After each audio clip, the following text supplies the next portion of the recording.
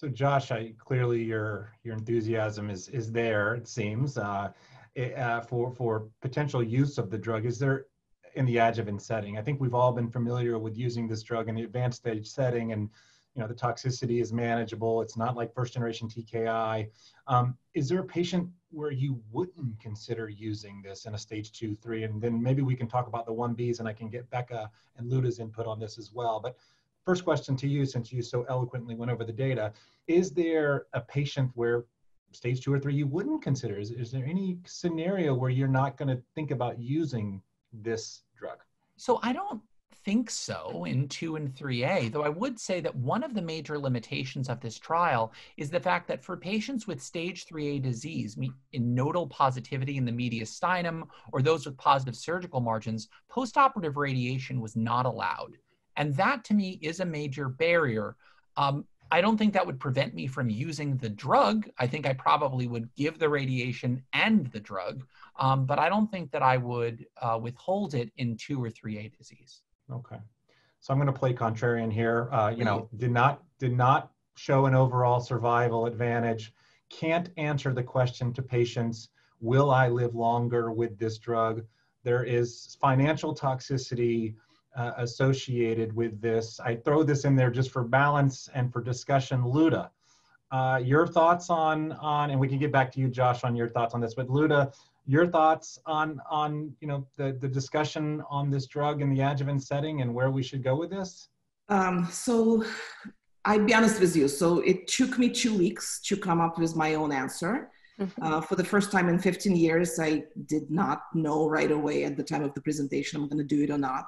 And I think uh, based on the, um, exactly the facts that Josh pointed out is that in the cure, in the early stage disease, we are looking for cure and the study design was not perfect. At the end, I'm actually in the yes camp, uh, meaning um, it is practice changing to me because my practice will be now talking to patient about the study.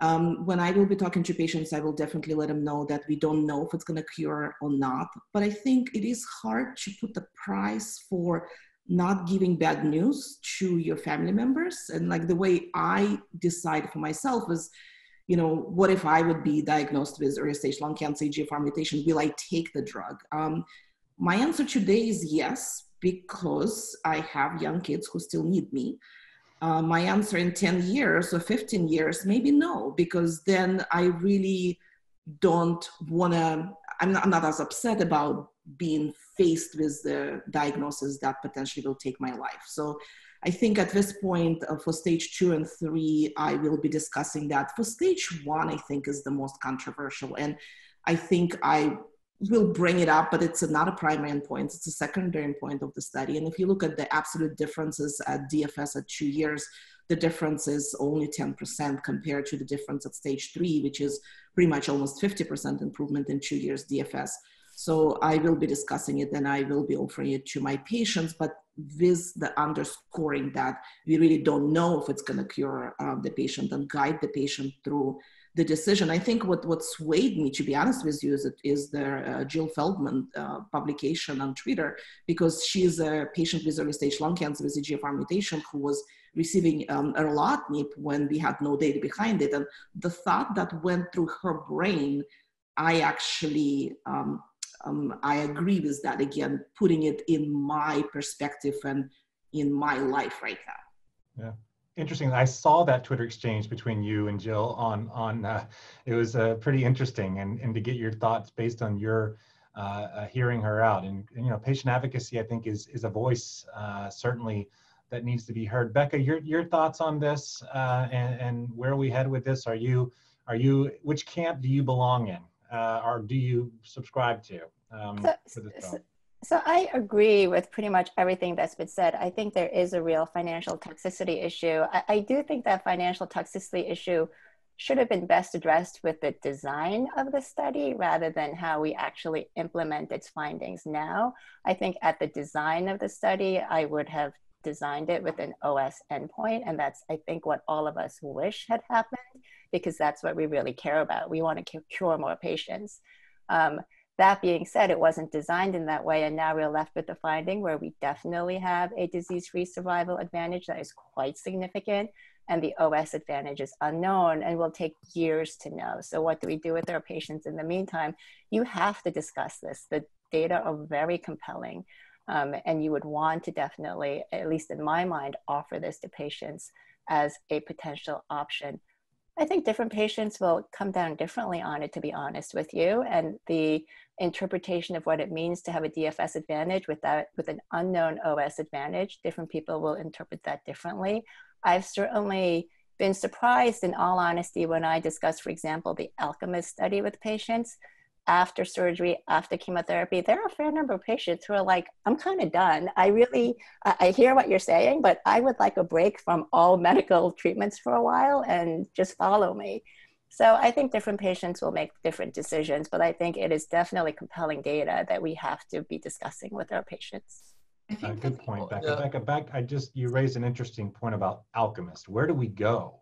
With Alchemist? And, and do we enroll patients on this trial? Is it equipoise now that that trial is two years of erlotinib versus placebo uh, in a very similar setting with a primary endpoint, importantly, of OS. We all want OS, and that's the primary endpoint of the study. Can we, can we reasonably expect patients to go on Alchemist if we have this data from ADAURA? It's hard to know what's going to happen with Alchemist. I, I personally would be challenged to really offer it with equipoise with patients.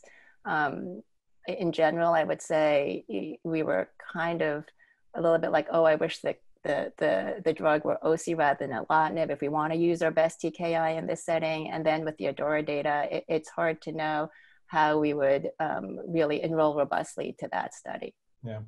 I Any think thoughts challenge, I agree with you, Becca, that even we can't enroll robustly, but also the patients who now randomized, um, you know, to observation, because this is not blinded study, um, they might seek um, erlotinib or osimertinib adjuvantly, and we might never know the OS yeah. outcomes yep. in that study. Yep. I think one of the concerns that I have in terms of the discussion of financial toxicity is that when when I have a patient in front of me I view my job is to advocate for that person. Absolutely. And our healthcare system has major problems. There are barriers. I think your point about the design and how things should have been done are all valid. But at the end of the day, I have a patient in front of me who is entrusting their care to my judgment.